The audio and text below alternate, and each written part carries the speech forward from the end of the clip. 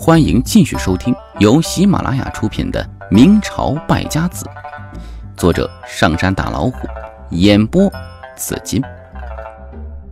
明朝败家子第二十七章：利国利民。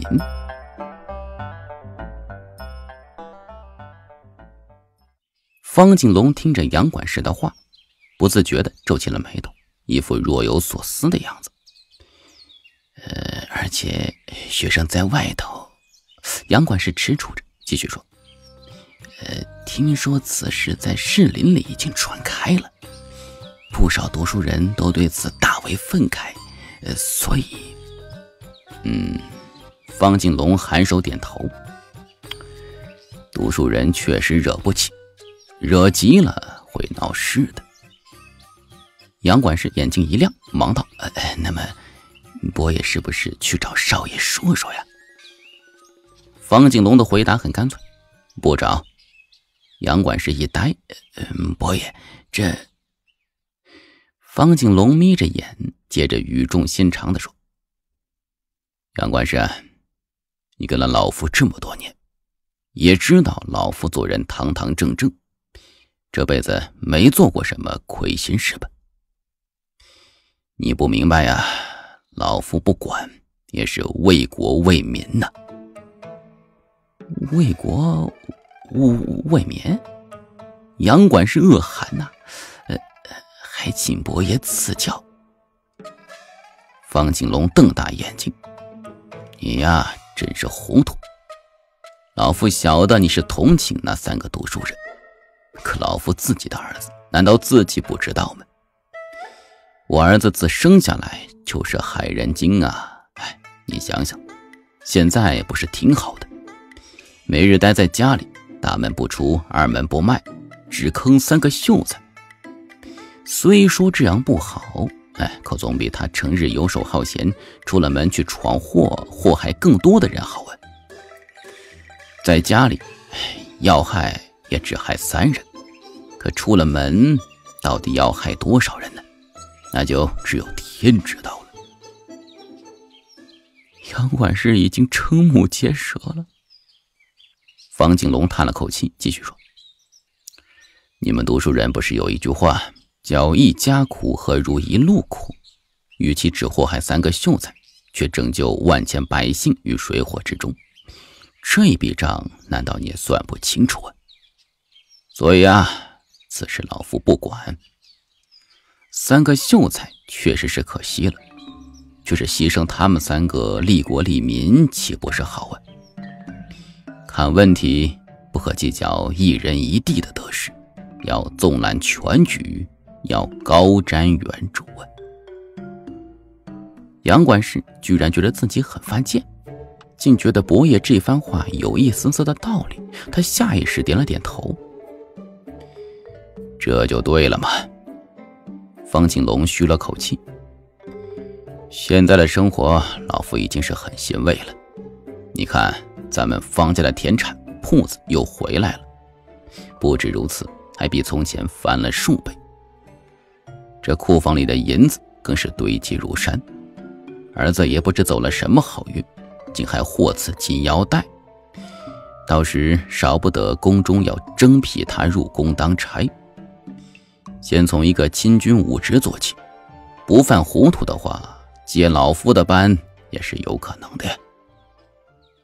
说到此处，方敬龙觉得幸福的想要流眼泪呀，通红的眼眶泪水磅礴，忍不住举起袖子擦拭。哎呀，这是祖宗有德呀，祖坟冒了青烟，烧了高香啊，所以呀。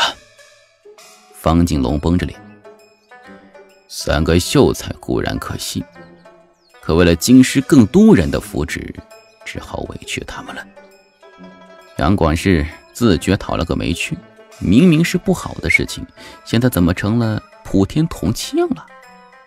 可他又觉得有几分道理，连连点头，只在心中为那三个秀才默哀了。欧阳志三人的八股文。已连续做了七八篇，现在只一看“富贵不能，必也使无送乎”，和当今之时仁政这三道题，便只觉犯恶心。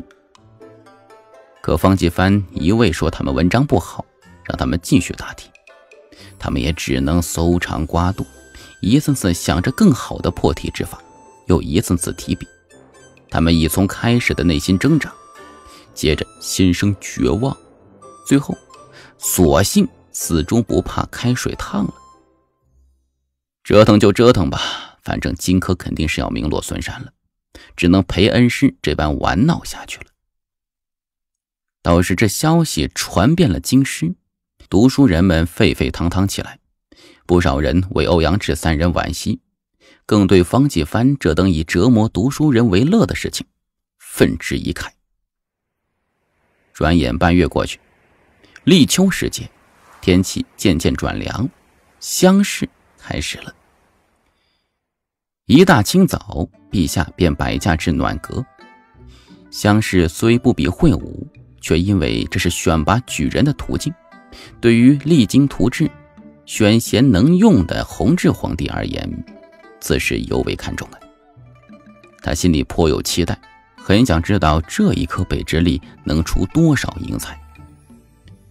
正因为对乡试的重视，所以这一次主考官乃是吏部尚书王敖。王敖这个人以精正廉洁而著称。还曾做过弘治皇帝的老师，弘治皇帝对他是极为看重的。而今他身居高位，何况这吏部非同小可。吏部的尚书号称是天官，意思是因为掌管着天下官员的公考而已任免，所以乃是最中枢的部门。作为吏部尚书，也可见弘治皇帝对他的信任。不只是如此。王敖的官声极好，素来为朝野所敬重，在弘治皇帝心里，由他来主持北直隶乡试，显出宫中对北直隶乡试的重视。今日便是开考的日子，弘治皇帝一到暖阁，内阁几个学士就已到了。这几个大学士都是弘治皇帝的肱骨之臣，从刘建到李东阳，再到谢谦，无一不是当代的名臣。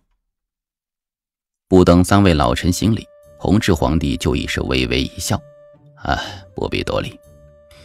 今日是朝廷的轮才大典，朕倒是希望荆轲各省多种一些举人，将来他们能如诸公一般为朕效力，为朝廷分忧啊。”刘建、吕须显得很是感慨，颔首点头说：“陛下说的是。”自陛下登基以来，优待士人，选贤用能，天下的读书人，无不是希望能通过科举而入仕为官，为陛下效力。弘治皇帝呷了一口茶，一笑，似乎因为刘建说自己宽待读书人，顿觉这几日的烦恼俱都抛到脑后去了。可这时候却出现不谐之音。陛下，臣昨日接到一封御史的弹劾奏书，这不看还好，看过之后，真是忧虑的一宿不曾睡呀。弘治皇帝循着声音看去，却是内阁大学士谢谦。谢谦这个人和刘建、李东阳都不同，刘建稳重，李东阳多智，而谢谦呢，却是善变。还不止如此，他还是一个嫉恶如仇的急性子。弘治皇帝便笑道：“啊，谢卿又来告御状了。你说说，又有什么烦心事令你操心了呀？”谢谦义愤填膺地说：“督察院北直隶科道御史林汉奏称，南河伯子方继凡。”平时便放浪形骸，欺负良善百姓，军民百姓敢怒不敢言呢。现在他更加过分，居然羞辱读书人，让三个秀才拜他为师，还命他们到南河伯府，自称要亲自教授他们学问。陛下呀，可怜这三个读书人，寒窗苦读了半辈子，眼看乡试在即，却因这方继帆一时的胡闹而荒废学业，与功名失之交臂。陛下，此事已引发了士林的不满，不少的读书人都为这三个读书人叫屈。臣恳请陛下，定要严厉申斥方继帆，拯救这三员秀才于水火之中啊！弘治皇帝不禁皱眉，又是方继帆，这家伙还真是上房揭瓦，无恶不作呀！说实话，弘治皇帝早就想收拾这个口称金腰带竟是铜的家伙了，只是。谢谦带奏的乃是御史的弹劾奏书，私下里教训一顿倒是无妨，而一旦因为这弹劾奏书在官面上做出回应，就是另外一回事了。这不等于是直接让南河伯府难堪？何况这家伙刚刚得罪了金腰带，褒奖了他一番，现在若直接申斥，岂不证明自己没有识人之明吗？